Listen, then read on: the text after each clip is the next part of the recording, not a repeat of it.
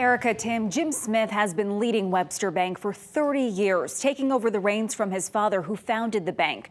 Now he's passing the torch and reflecting on his time with the company. When Jim Smith sits at the head of the table in the conference room, it's not lost on anyone that his father's gaze is just feet away.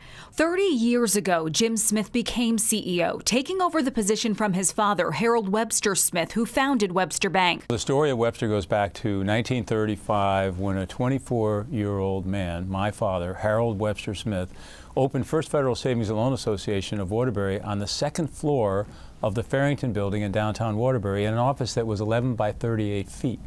He opened it in the Great Depression to help people buy and build their homes.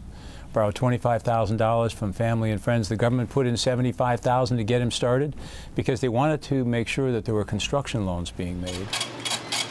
Over the years, the bank evolved into what it is today, a $26 billion commercial bank still headquartered in Waterbury. Although the services may have changed over the years, Jim Smith says the values of this bank have not. I'm most proud of the fact that we've been uh, stewards of the values that my father laid down. And when I think about what the company has achieved over the time that I've been here and even since the day that we were founded, to be a big, strong company that can invest in service to its customers and continue to grow.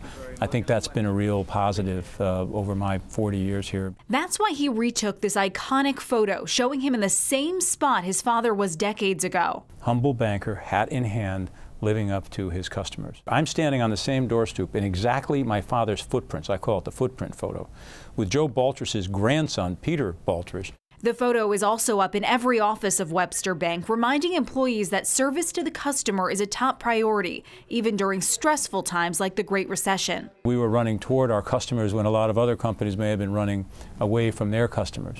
Things like having a moratorium on foreclosures beginning at the end of 2008 because we knew something was wrong and we didn't want our customers to not have the opportunity to renegotiate the terms of their of mortgage loans. Smith said the company did the same with its small businesses and continues its commitment to Connecticut, even though the state has its share of financial concerns. I think Connecticut's problem at this point is that the growth rate's a little bit lower than the national rate. If we make the structural changes that are necessary to be able to bend the spending curve and increase revenue because you increase business confidence, we'll be okay. And he knows Webster Bank will continue to grow even as he passes the reins over to the new CEO, John Ciulla.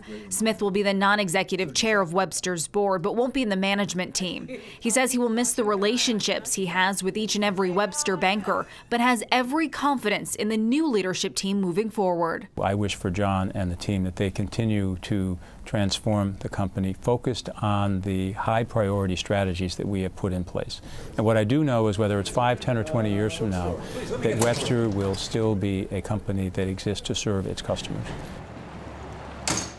Coming up next week, our interview with John Ciulla, who as of January 1st will lead Webster Bank. We sat down with him and Jim Smith to talk about the transition and how the two of them made sure that it would go smoothly for the company. Amanda Raus, Fox 61 News.